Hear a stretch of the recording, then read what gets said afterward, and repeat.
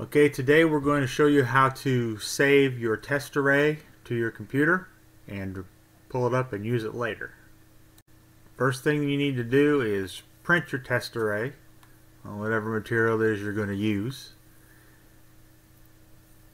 And then once you've done that, take a picture of it and save it as a JPEG in a file where you know where it's at so that you can get to it later. Next, you're going to come over to WeCreat MakeIt screen, click on your materials list, and then down towards the bottom, it says Add. Click on Add.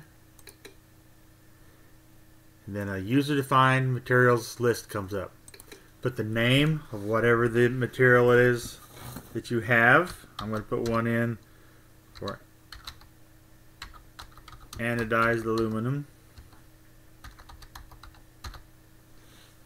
Okay, and then the thickness, the what I got's one millimeter thick. The next, you got line engrave, fill engrave, and cut.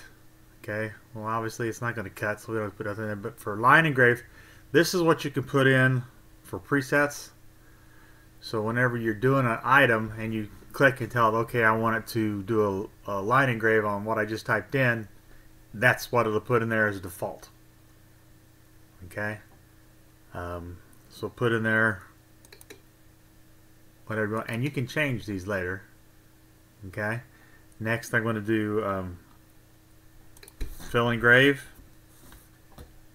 and then I know for the the fill engrave, I want my power to be 78, and I want my speed to be 158. Okay.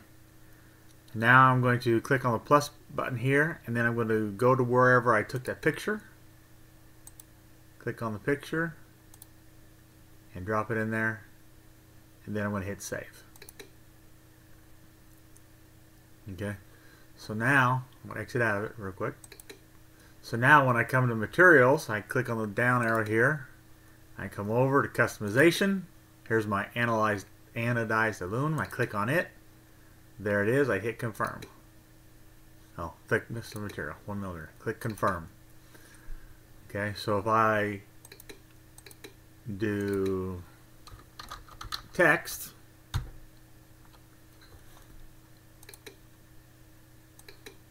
and I tell it, here's the 43 or 124 automatically came up because it's line engrave on this. If I hit fill engrave, it's going to go to what my presets were on it before.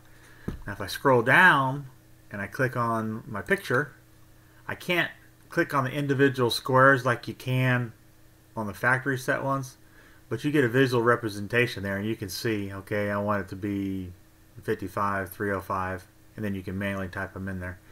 But it's all in one place, you can't lose it, and there it is.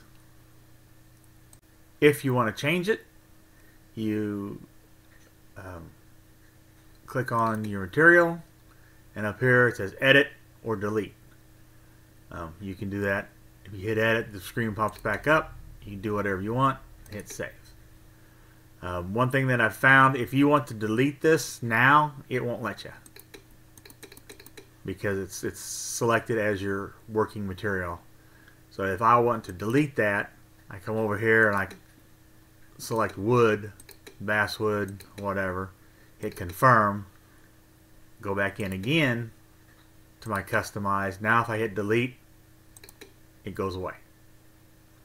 So you can mess around with it and do what you want. Like, share, follow, and subscribe. Have a great day.